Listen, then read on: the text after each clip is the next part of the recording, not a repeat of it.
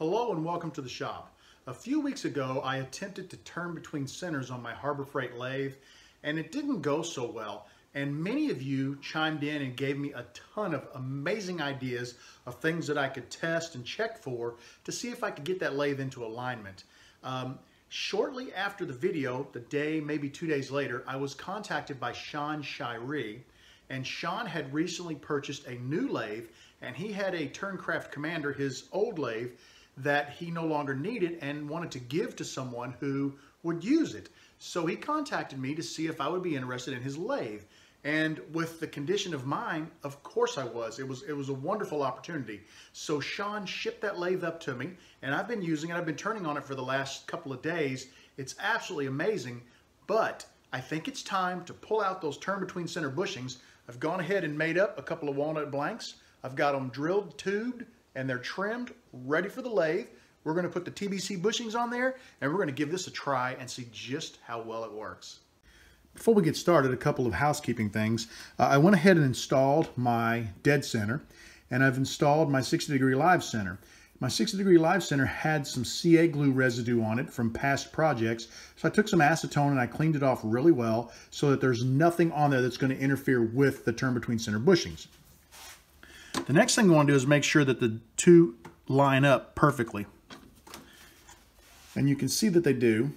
So I'm real happy about that. This lathe that I'm using, this Turncrafter, uh, has a much better locking mechanism on the tailstock. It doesn't move once it's locked, so I'm happy about that. Let's take a quick peek at the turn between center bushings. These are turn between center Wall Street bushings. They can be used for the Sierra, or any of the pins that use the 27 64 inch tube of that particular style. This shaft here slides into the tube and it is set to the exact depth that the blank needs to be turned to. These turn between center bushings were made for turning slimline pins. This is far too thick for a slimline, so you can drop a bushing onto the shaft and that tells you just how thick you should turn your slimline pin. This is a brand new set of slimline bushings. And this particular set of turn between center bushings has only been used twice on my Harbor Freight lathe. I have a good friend who has a, the same set, bought them the same day I did from the same manufacturer. Now, these were purchased at a show. These were purchased at Woodcraft. The same guy makes these as makes these.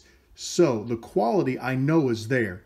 I think the entire issue comes down to problems I was having with my old Harbor Freight lathe. I don't seem to be having any alignment issues with this new lathe, so we're going to give these turn between center bushings with the 7 millimeter bushings a quick test. The way these bushings work is there's a little conical dimple in the back, and that will set on the 60 degree dead center or the 60 degree live center. We're going to go ahead and put a slimline blank between our set of bushings. And you notice I do have a slimline bushing on either end so that I can turn it down to the proper diameter.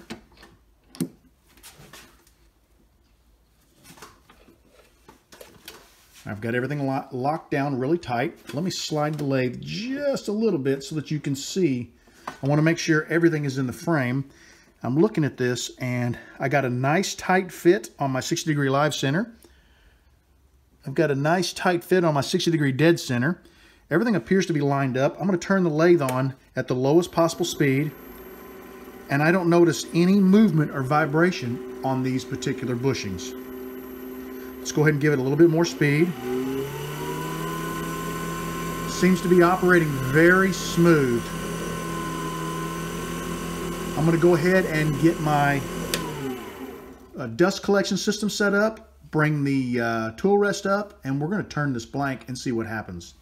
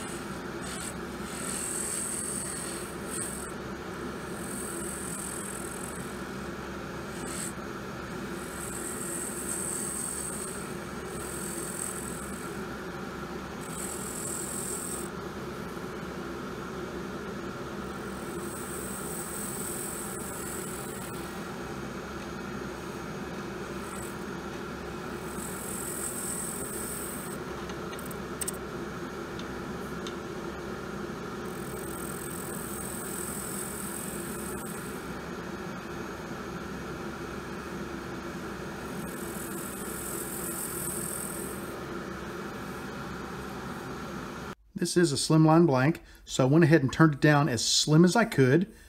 It is perfectly aligned with the bushings on the front and back. So let's take this off the lathe and let's take a peek at both ends and see how she looks.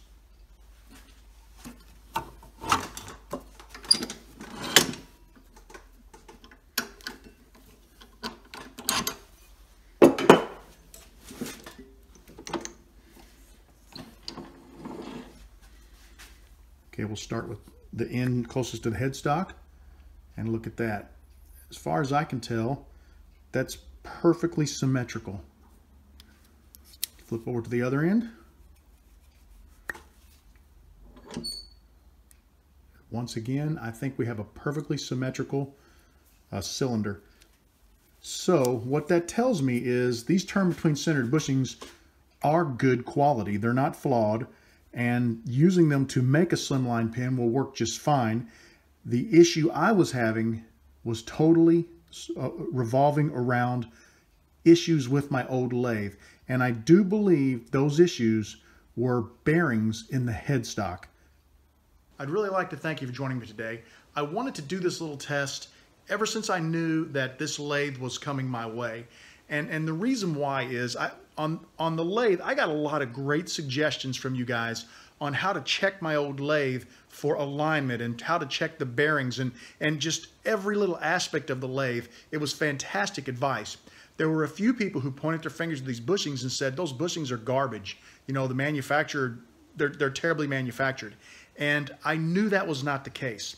I didn't want to say anything, but I know the gentleman personally who manufactured these bushings.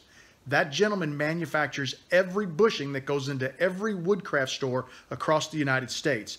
I know he is meticulous about his quality, and I knew that these bushings were good. A friend of mine, uh, she has a set, the same set of these bushings. She bought them the same day from the same man, and she turned with them and did a quick little video on on Facebook to show me that they worked just fine on her lathe. So from, from start to finish, I pretty well knew it was the lathe. I just wasn't 100% sure where the issue was. I got to the point where I couldn't even turn on the mandrel with my lathe. The, I had the same phenomenon when I turned on the using the mandrel. Uh, so I decided to stop turning pins uh, for a craft show I was working on, and I went to turning bottle stoppers uh, so I would have something to fill my table. The bottle stopper I only used the tailstock long enough to true it up. Once I was done, I removed the tailstock and turned the bottle stopper just on the little mandrel, which is only about two, two and a half inches long, that runs right off the headstock. I was seeing the same phenomenon where one side would be right at the mandrel and the other side would either be thicker or, or fatter than the mandrel or less than the mandrel, depending on how far down I turned it. I hope I explained that. It was oval, essentially which tells me that the problem is in the headstock. Now I'm looking toward bearings. I think that's probably the issue. Um, I don't know for sure.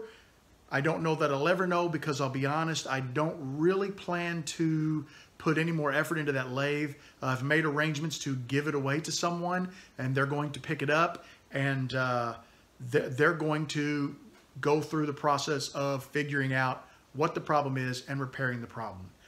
So with that, I would like to thank you for joining me in the shop. I want you to know that you are always welcome in my shop, and I'd love for you to come back and see me again real soon. Take care and have a great evening.